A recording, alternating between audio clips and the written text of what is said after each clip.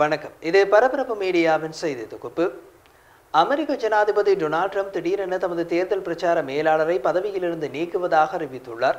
அமெரிக்காவில் ஜனாதிபதி தேர்தல் நடைபெறுவதற்கு சில மாதங்களே உள்ள நிலையில் பிரச்சார மேலாளரை பதவியிலிருந்து நீக்குவது எதிர்மறையான விளைவுகளை ஏற்படுத்தலாம் என சில அமெரிக்க அரசியல் ஆய்வாளர்கள் கருத்து தெரிவித்துள்ளனர். இதுவரை ஜனாதிபதி ட்ரம்பின் தேர்தல் பிரச்சார மேலாளராக இருந்த பிராட் பாஸ்கேல் பதவி நீக்கம் செய்யப்பட்ட காரணம் அவரது செயற்பாடுகள் திருப்தி அளிக்கவில்லை என்ற பொதுவான காரணம் மட்டும் கட்சி சார்பில் தெரிவிக்கப்பட்டுள்ளது. இதன் பின்னணியில் உள்ள சம்பவம் எது என்பதை சுலபமாக ஊகித்து விடலாம். சமீபத்தில் அமெரிக்க ஜனாதிபதியின் பிரச்சார கூட்டம் டூல்சா நகரில் நடைபெற்றது. அதில் கலந்து கொள்வதற்காக ஒரு மில்லியனுக்கு மேற்பட்டவர்கள் நுழைவுச்சீட்டு கேட்டு கோரிக்கை விடுத்துள்ளதாக ஜனாதிபதியின் பிரச்சார மேலாளர் ஊடகங்களில் பெருமை அடித்துக் கொண்டார். ஆனால் பிரச்சார கூட்டத்திற்கு வந்தவர்களின் எண்ணிக்கை வெறும் ஆறாயிரத்தி இருநூறு பேர் மட்டுமே. இந்த நுழைவுச்சீட்டு விவகாரம் பிரச்சார மேலாளரின் சீட்டை கிழித்துவிட்டது இந்தியா வாங்கிய ரஃபால் விமானங்களின் முதலாவது தொகுதி. பெரும்பாலும் இம்மாதம் இருபத்தி ஏழாம் தேதி இந்தியா சென்றடையும் என்று கூறப்பட்டுள்ளது. முதலாவது விமானம் அம்பாலா விமானத்தளத்தில் தரையிறங்கும் என்பதுதான் தற்போதைய திட்டம். ட்விட்டரில் தற்போது சில புகைப்படங்கள் பதிவேற்றம் செய்யப்பட்டுள்ளன.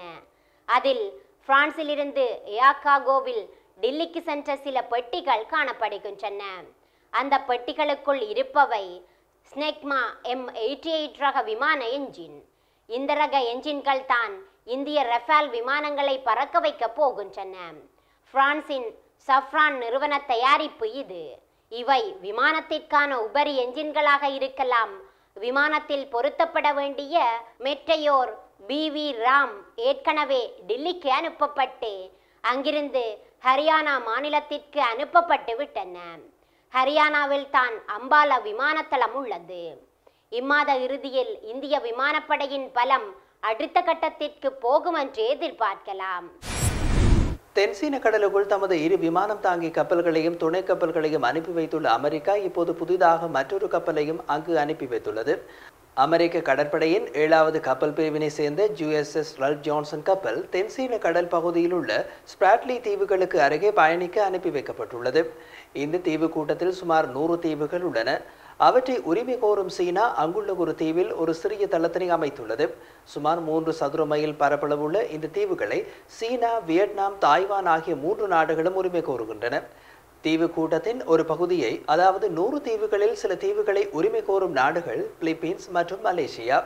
தீவை தற்போது கட்டுப்பாட்டில் வைத்திருப்பது சீனா. அதற்கு அருகே செல்கிறது அமெரிக்க கடற்படை கப்பல் ஜூஎஸ்எஸ் ஜான்சன். சீனாவின் பிரபல பன்னாட்டு நிறுவனம் அலிபாபா குழுமம் இந்தியாவில் பணிபுரியும் பணியாளர்களுக்கு அனுப்பியுள்ள கடிதத்தில் இந்தியா விதித்துள்ள தடை காரணமாக அவர்கள் தமது வேலைகளை இழக்கின்றார்கள் என்று குறிப்பிட்டுள்ளது. அலிபாபா குழுமத்தின் இணை நிறுவனங்களான ஜூசி வெப் மற்றும் விமேட் ஆகியவை இந்தியா தடை செய்த செயலிகள் பட்டியலில் உள்ளன. சுமார் பத்து ஆண்டுகளுக்கு முன் இந்திய சந்தைக்குள் சென்றுவிட்ட யூசி வெப் நிறுவனத்தில் எத்தனை இந்தியர்கள் இந்தியாவில் பணிபுரிகின்றார்கள் என்ற விபரத்தை நிறுவனம் வெளியிடவில்லை. டிக்டாக் உட்பட இந்தியாவில் தடை செய்யப்பட்ட சீன மொபைல் செயலி நிறுவனங்களுக்கு இந்திய அரசு சார்பில் ஒரு கடிதம் அனுப்பப்பட்டுள்ளது. அதில் எழுபத்தி ஏழு கேள்விகள் உள்ளன. உங்கள் செயலியில் இடப்படும் பதிவுகள் தணிக்கை செய்யப்படுகின்றனவா? உங்கள் நிறுவனம் வெளிநாட்டு அரசு ஒன்றின் சார்பில் இயங்குகின்றதா என்பன உட்பட உள்ள எழுபத்தி ஏழு கேள்விகளுக்கு இரண்டு வாரங்களுக்குள் பதிலளிக்க வேண்டும் என்று கூறப்பட்டுள்ளது.